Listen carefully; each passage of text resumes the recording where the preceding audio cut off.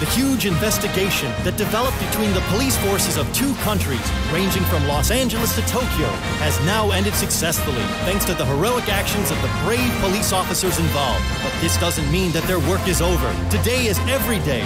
They have to remain alert and vigilant in order to continue protecting law abiding citizens from the callous and brutal crimes that can happen anytime and anywhere in the big city.